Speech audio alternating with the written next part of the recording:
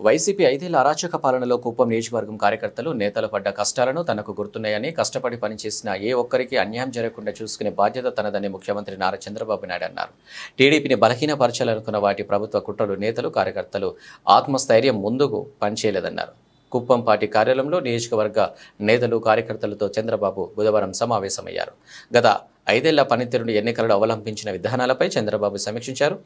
Two twenty nine ఎన్నికలకు ఏ ప్రణాళికతో పనిచేయాలో నేతలు కార్యకర్తలకు సూచించారు.